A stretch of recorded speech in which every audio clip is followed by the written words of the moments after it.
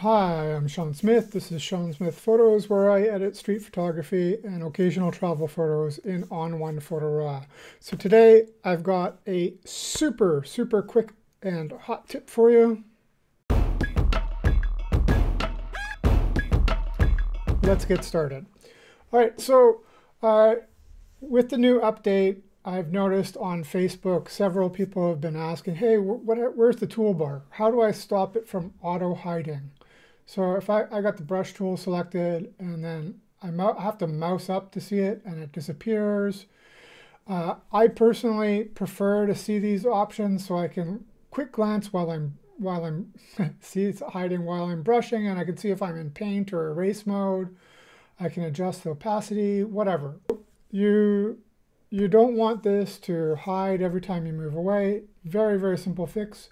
Go up to the menu and then uncheck auto hide toolbar tool option bar. And now it, it stays here no matter what you do with your mouse.